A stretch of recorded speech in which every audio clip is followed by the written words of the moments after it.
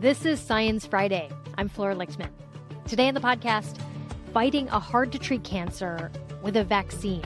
This is exciting because we can teach the immune system to recognize other deadly cancers. This month, the Department of Health and Human Services terminated almost $500 million in mRNA vaccine development grants and contracts. As you know, mRNA vaccines have been used for infectious diseases like COVID, but researchers are also turning to them for certain cancers. Now, HHS has said that these cuts won't affect mRNA cancer research, but some researchers have expressed concern about the impact on their ongoing work. A team at Memorial Sloan Kettering is developing a new mRNA vaccine for pancreatic cancer, which is notoriously difficult to treat. 90% of people who are diagnosed with pancreatic cancer die from the disease, which is what makes a new possible treatment so exciting. A few years ago, the team embarked on a small trial to test the vaccine's safety. 16 patients with pancreatic cancer got it. And even though it was a small study, the results were promising half the patients saw an immune response. And in a follow up study, they found that in most of those patients, the cancer hadn't relapsed after three years. We spoke to study author Dr. Vinod Balachandran earlier this year about the work, and we wanted to re air the conversation in light of the recent cuts to mRNA research. This work has not yet been affected by the cuts, according to Memorial Sloan Kettering. Vinod, welcome to Science Friday. Thank you for having me, Flora. So, why is it so difficult to treat? So, this is an interesting question, and you might think it quite simple to answer, but. No, I never think it's simple when I ask a science question. Well, it is deceptively simple, but notoriously still hard to, for us to answer this. Why is pancreatic cancer, in fact, so challenging to treat when we've made so much progress in many of the other common cancer types, such as breast cancer, prostate cancer, ovarian cancer, etc. And as you may know, pancreatic cancer is now the second leading cause of cancer death in the United States in 2025, and second only to lung cancer. Hmm. Now, one of the reasons is because we have made tremendous progress in outcomes for many of the other more common cancer types. Newer waves of oncology drugs, and these drugs have had more impact on the other common cancers, but have not impacted outcomes in pancreatic cancer patients. Do we know why?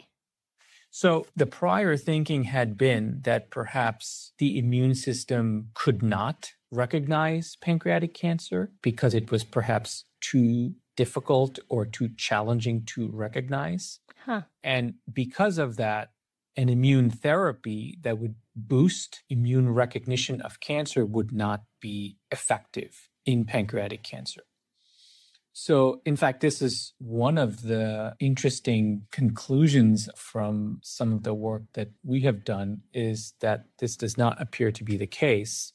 And you can use vaccination to teach the immune system to recognize pancreatic cancer. So I think this is exciting because hopefully this can lead to novel ways through which we can teach the immune system to recognize other high unmet need and deadly cancers. Right. It upends the assumption that some cancers just can't be treated with immunotherapy. That's correct. The assumption had been that the primary way we think the immune system recognizes a cancer as foreign, as you know, the immune system is hardwired to recognize pathogens such as viruses and bacteria as foreign. And these pathogens are non self, if you will. Cancers are, however, self. They are derived from our own tissues, and the immune system is, in fact, programmed to not recognize ourselves as foreign. So, for the immune system to recognize cancer, you have to teach it exquisitely to recognize the portions of the cancer that are foreign. Mm. And what we have learned over the past few decades is one of the primary ways through which the immune system recognizes a cancer as foreign is by identifying and recognizing mutated proteins that are found on the surface of cancer cells. So, a mutation or a break in the DNA is in fact how a normal cell becomes a cancer cell. the break in the DNA or a mutation causes this normal cell to start dividing abnormally and become cancerous. But through that process, as the cancer cell continues to divide and grow, it accumulates many more of these mutations, so genetic errors. And some of these genetic errors produce new proteins and they serve as red flags, alerting the immune system that this cell is not behaving properly and needs to be eliminated. So the immune system can spot them. Exactly. Yeah. So I want to talk about the vaccine that you and your collaborators developed. It's an mRNA vaccine, and I think many people are familiar with mRNA vaccines, you know, from COVID. How is yours different? Right. So a mRNA vaccine for COVID-19, you know the virus. It is the same virus that affects the entire population. Therefore, you can make one vaccine and administer it to the whole population to protect it. But in cancer, since these red flags are individual to each person's cancer, these vaccines for cancer have to be individualized for each patient. So this is a key difference. Ah, uh, so the flags are different. You could have the same cancer, but the flags that appear on cancerous cells would be different person to person. That's correct. So because the flags are different for each individual and potentially each individual cancer, vaccines have to be individualized for each patient. And that's what you did, right? And and that is what we did for pancreatic cancer. That's correct. In this clinical trial, patients had surgery for pancreatic cancer here in New York City. And within 72 hours, we shipped the tumors to colleagues in Germany, where they did genetic analysis of the tumors and then individually made a bespoke vaccine for each patient and then shipped them back to us. And then we began administering their vaccines nine weeks after their surgery. And a feature that allows individualization in a rapid manner is the RNA vaccine technology. So you made a vaccine for each individual based on samples of cancerous cells. Does that mean this vaccine only works after you've had cancer? So at the current time, we do need to know what the flags are because we then incorporate those flags in an individual vaccine for each patient. So at the moment, we are able to only create a vaccine after we genetically analyze and identify the flags. I hear you saying at the moment, and I'm intrigued. Yes. So you could envision perhaps over time, as we accumulate more and more information on the flags, could you then create a library of flags, which could then serve as a basis for a preventative vaccine in the future for an individual cancer? So this remains a hypothesis and something that would be an interesting area of exploration in the future. But for us to learn how to do that, we believe these current vaccines, which are preventing cancers from coming back after they have been removed with surgery, will be a key component to understanding the hows of an effective vaccine for cancer.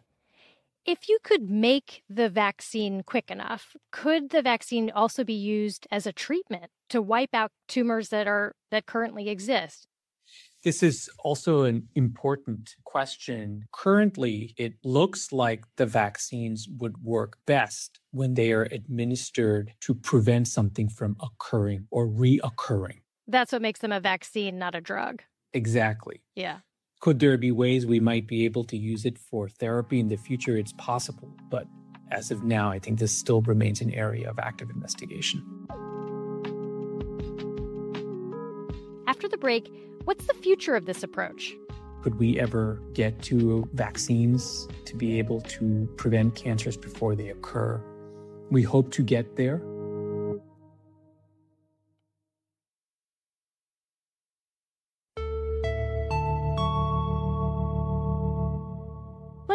About this latest study. You followed these same patients who were in the, the previous study, who were in this very small trial. W- what are you reporting this week? Right. So, in this clinical trial, we vaccinated 16 pancreatic cancer patients with custom vaccines made with RNA. And the goal here in this trial was to teach patients immune systems to recognize their own individual cancers. And from a broader sense, what do you need for an effective vaccine against cancer? Well, what you need is a vaccine that makes lots of T cells. T cells are specialized immune cells in the body that protect us from infections and cancer. And you need these T cells to stick around in the body for long periods of time and continue to function. So, this was a key question that we wanted to examine in these patients namely, could our vaccination strategy, in fact, not only make many T cells, which we had reported earlier in 2023, but do these T cells, in fact, last in these patients and do they continue to work? Did they? So, what we found here is that surprisingly, not only do they stick around, they appear to have the potential to stick around for many, many years. So, the average lifespan that we estimated for these T cells was approximately seven years. And um, in many patients, this number was even higher. So I think the take home from that was that yes, they do stick around and yes, they still work. So these are all, we think, have been key barriers for developing effective cancer vaccines. So this was exciting to see that perhaps this particular vaccination strategy that we had used is a blueprint to make T cells that last and work and could do so even in the most challenging of cancers. I know that this was a phase one trial. You're looking at it's small, you're looking at safety, but did you see any direct evidence that these immune cells were actually attacking cancer cells, that they were doing the job you wanted them to do? So, this is a important question that you're bringing up namely are the T cells that are made by the vaccine doing anything? Because in this scenario we're vaccinating patients when they do not in fact have visible cancer.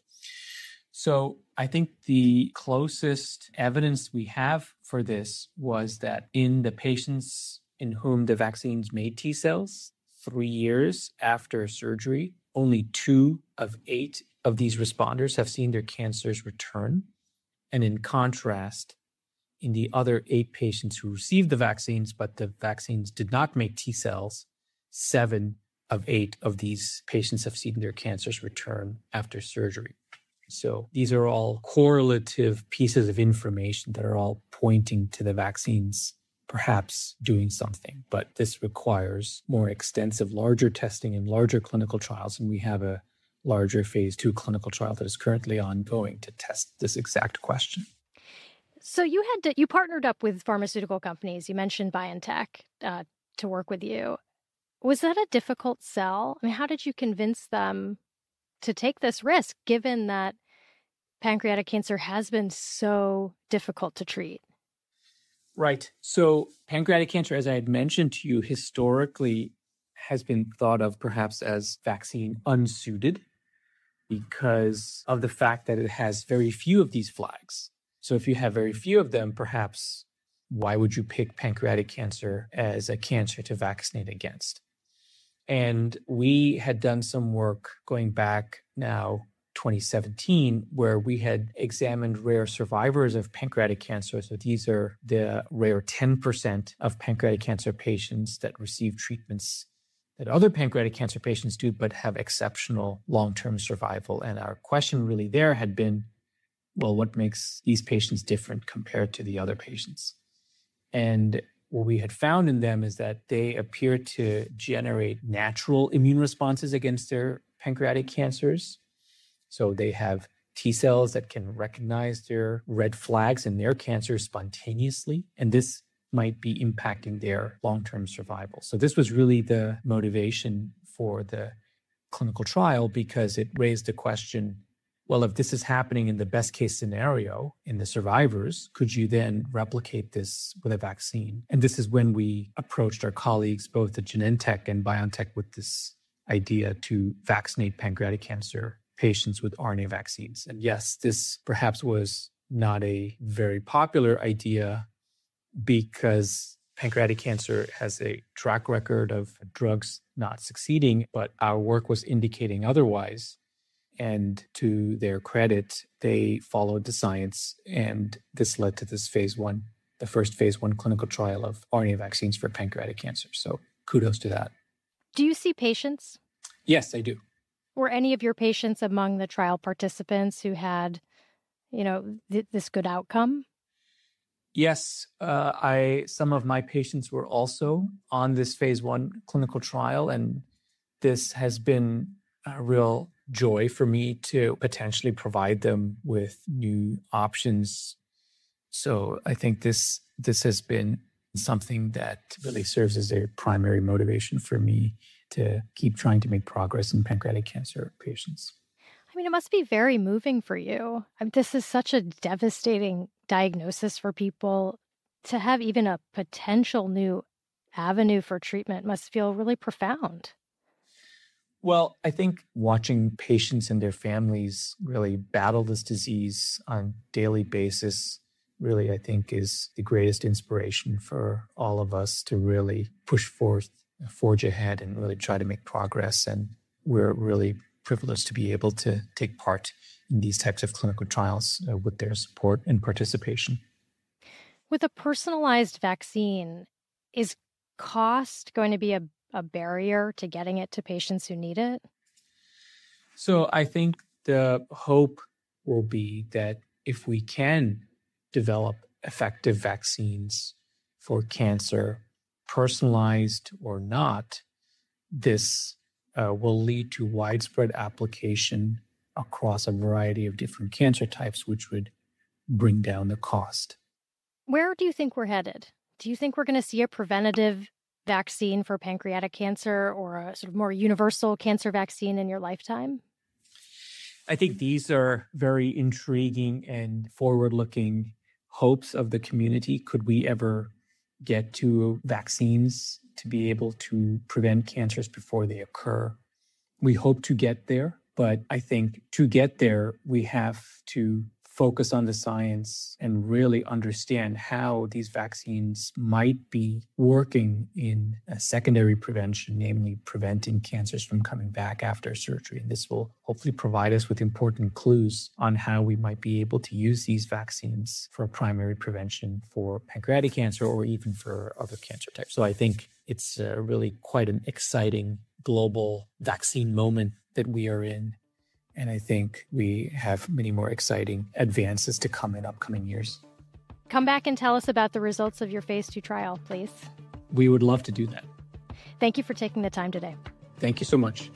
Dr. Vinod Balachandran is Associate Attending Surgeon and Director of the Olayan Center for Cancer Vaccines at Memorial Sloan Kettering, based in New York City.